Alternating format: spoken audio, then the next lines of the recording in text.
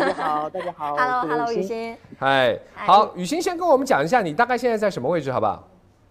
我现在在沈阳，哇，哦，哎沈阳对那今天雨欣有看到超级月亮吗？我现在窗户外面是狂风暴雨，啊，但是我看 看镜头那边就是月亮很漂亮。嗯因为因为为什么问这个问题啊？因为刚才有网友说，欣欣今天在哪里看月亮呀？有没有看到月亮？好，是是现现在是狂风暴雨，对不对？好，那没没关系。现现在其实雨欣在我们的直播室哈，那待会儿这个我们在视频号里面可以跟大家一起来赏月啊。嗯，那好雨欣我也知道，其实最近这段时间刚刚推了新歌，对不对？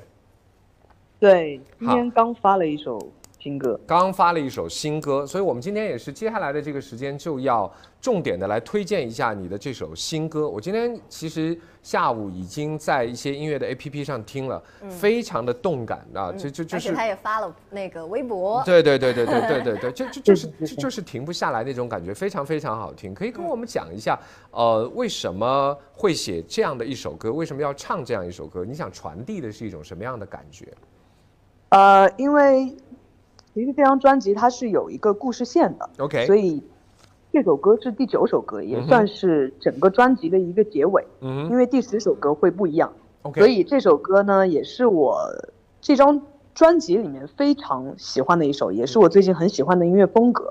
然后这首歌它的音乐比较轻快，然后给人感觉会比较放松，嗯所以听着它赏月也是不错的。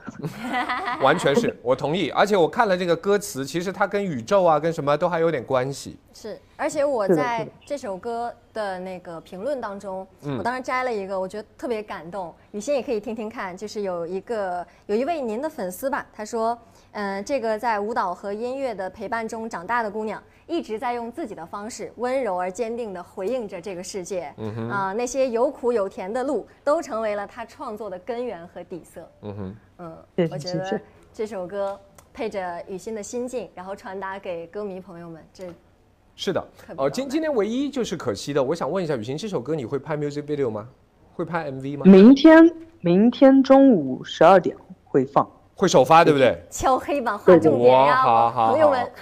各位要准备了哈。那当然，今天晚上我们就会配着月亮要来听这这首歌。嗯那其其实我我自己听这首歌的时候，我很期待看你的舞台表演，因为我会觉得那个歌其实很适合雨欣在台上做那个唱跳的表演。编舞这方面已经有成型了吗？已经有成型了，其实已经准备了，前几个月就已经准备好了。OK，对，所以现在找一个合适的时间进发出来。行准备。太棒了，太棒了。那我那就一定是视觉盛宴加听觉盛宴。是的，是的，是的。啊、你们现在在沈阳的这一站是在呃参加东方卫视的节目的拍摄，对吗对，在打卡吧吃货团，？OK，然后之前也去了，呃，去了两个城市，嗯然后这是第三站，OK，然后现在吃了很多这个沈阳的美食，可以推荐一两个你印象深刻的吗？嗯，推荐一两个烤鸡架，哎呦，那是一定要哦沈阳吃的。炸鸡架。对对对对，吧东北嗯的烤鸡架。对对嗯对，还有麻辣烫吧，啊，OK，对，其实在全国最有名的两个人名儿的这个麻辣烫，其实都来自东北。哦，真的吗？对，全部来自东北啊。哦所以，哎，可是雨欣，我可以问你一个比较 personal 的问题，就是其实艺人一定要 keep fit，一定要保持很好的身材。可你有参加的是一个打卡吧吃货团这样的节目，所以这个两者之间会不会给你带来一些些小小的，或者说吃完了以后要加倍的去 keep fit，要保持好自己的舞台上的状态？其实不会，啊，因为我们吃的都还蛮健康的，所以吃完之后也还是会运动一下，因为我们哦是就边走边吃，边走边吃，还是会有运动，嗯所以吃完之后还是会保持很好的状态。OK，我以为是，其实不会，因为我吃不胖，那就太气人了。确实很瘦。好好好，嗯那其实今天我们从我们直播到现在啊，真的有很多很多喜欢雨欣的朋友一直在我们的直播室里面在等待着你，所以你要不要借着月圆之夜啊？虽然你是在狂风暴雨的沈阳，但实际上你要不要借着今晚的在这个直播室里的月圆之夜送一个祝福给他们，好不好？